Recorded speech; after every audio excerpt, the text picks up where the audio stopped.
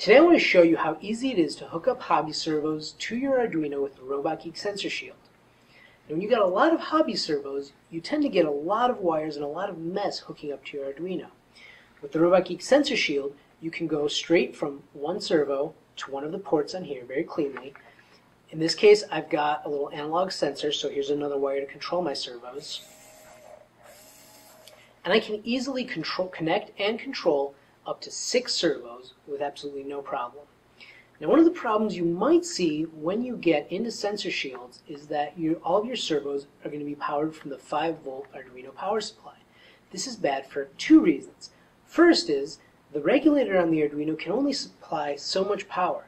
This means that you might not get enough power for all of your servos. The second problem is a lot of servos can go past 5 volts, 6, 7 volts maybe, what we've done with our sensor shield is we've got two jumpers so you can set different groups of pins to either use the Arduino's 5 volt power supply or an external power supply like a wall wart or in this case a battery.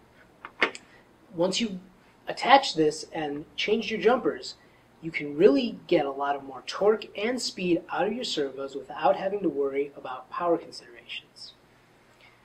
As you can see here, the servo on the right moves faster than the servo on the left. The servo on the left is running from 5 volts, while the right one is running from 7. You can use this technique for just about any sort of actuator that will accept a larger power supply than the normal Arduino's 5 volt. In this case, I've got a linear actuator. It accepts a servo control signal, so I'm just going to plug it in. And I'm able to easily control it and give it that 7 volts power supply that I was giving the servos.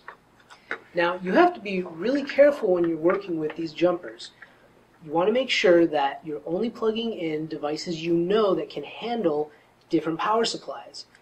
So actuators are okay, but an LED board or other sensor boards might not accept 5 volts and you might damage them if you have your jumpers set the wrong way. You also have to be careful that you're not plugging in too much voltage through your input, say 12 volts, to a servo that might only take 6 or 7. You might damage it. But as long as you take care, you're going to have a really easy way to control all of your different devices at their highest efficiency and get your project up and running in no time flat.